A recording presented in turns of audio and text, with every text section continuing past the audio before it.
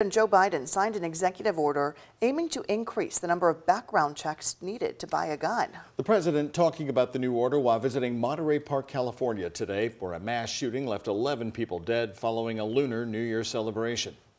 ABC's Melissa Adan is in Los Angeles with the story. A new executive order on gun control signed on Tuesday by President Joe Biden.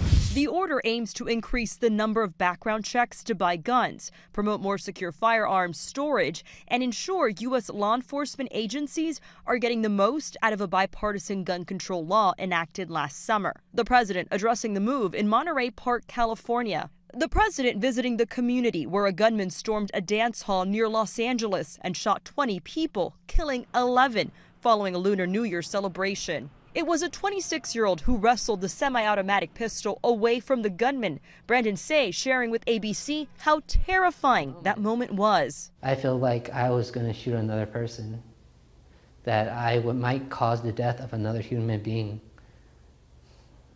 It's a very scary thought to think about. Tuesday's action does not change U.S. law, but it directs federal agencies to ensure compliance with existing laws and procedures. Current federal law requires background checks to be run on all purchases from federally licensed gun dealers.